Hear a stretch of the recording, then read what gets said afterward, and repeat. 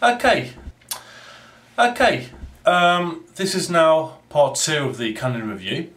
Um, basically, I was annoyed when I opened it all up. There was no memory card inside, so I had to go down to Maplins get myself a new memory card. Uh, I bought myself a 16 gig uh, drive memory card. Is it? Yeah, no, sorry, 8 gig memory card. Um, fairly cheap, quite quite pleased to be honest. Um, and it offers me up to 44 hours of uh, movie time to record. So that's quite good, I'm quite pleased with that. Played with the camera, very very pleased. My only problem or my only criticism is that you can't plug in an external microphone. But um, I suspect I will be able to work around that somehow at some stage. So I'm not too worried about that at the moment. It's a very nice camera, it's very very light. The quality I'm quite pleased with. Um, in this room at the moment it's pretty dark.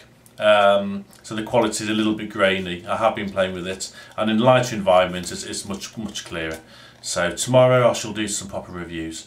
Um, I'm going to have to have a play with the editing software.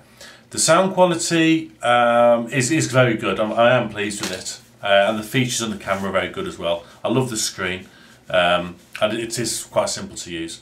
So I'm going to do um, proper videos tomorrow. Uh, I'll take it out and about. Uh, I want to do a video with my uh, new vehicle. I bought myself a new car. Um, and I've installed my uh, amateur radio and CB equipment in so I shall be doing a review of that.